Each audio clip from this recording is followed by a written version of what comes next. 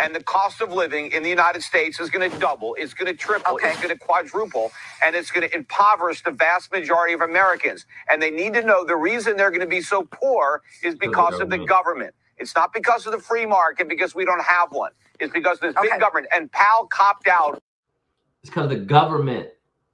Look, it's because the government won't stop spending money, and it's because the feds won't tell the government to stop spending money. Because the feds and the government are two separate entities. They, the government borrows money from the Fed. The Fed, the Fed controls the flow of money, but they never tell the government no. And the government, what do they do? Give money.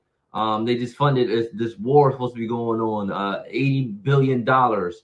Um, we have to pay eight hundred billion dollars actually, but we have to pay back the loan from the from the stimulus check. We got to pay back eighty billion dollars on the loan, interest on the loan, or we're gonna be in deep shit. But they just keep being reckless with money, like they keep not caring. They don't care about the people. They say they care about the people. You know, they got all I'm gonna do all this for all the people and stuff like that. This shit is messing the country up, man. This shit is messing the country up. Look at the numbers. I know all these libtards and stuff. We talking all this stuff.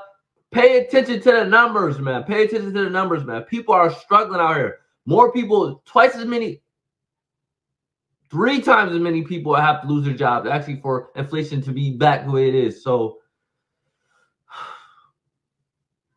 for what? All it for what, man? For what?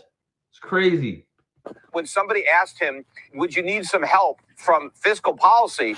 And he says, Well, we don't want to give any fiscal policy advice. That's BS. Okay. He should be giving advice. When he knows the government is creating inflation by running these huge deficits, it's up to Powell to tell the government to stop doing that, to cut government Oh, spending. But he refuses to stand up for the American public. Okay. He doesn't really want to do his job. He's Let me get in kowtowing to the Biden administration Over. Let's bring in. Our, and the cost of living in the United States is going to double, it's going to triple, Okay. it's going to quadruple, and it's going to impoverish the vast majority of Americans. And they need to know the reason It's facts, man. I ain't ain't t- speak no lie. No lie was told here. Only facts.